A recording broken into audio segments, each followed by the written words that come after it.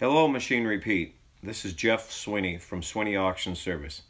We want to tell you about this 1972 John Deere 4020 with 2007 actual hours that will be sold on Saturday, August 4th at the auction for Virgil and Judy Kuhlmann in Readlyn, Iowa.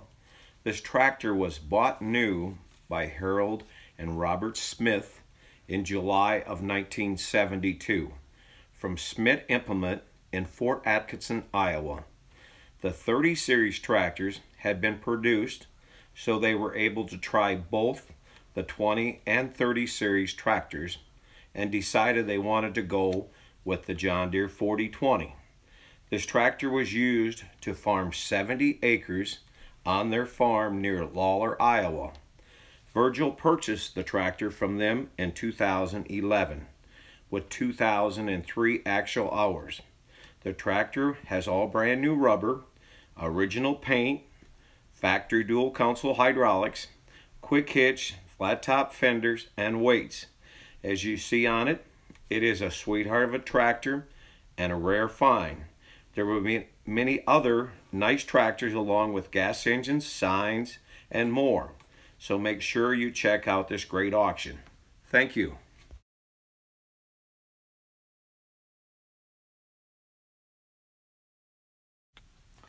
Hello Machinery Pete. This is Jeff Sweeney from Sweeney Auction Service. This tractor will be on the August 4th auction for Virgil and Judy Kuhlmann near Readlyn, Iowa.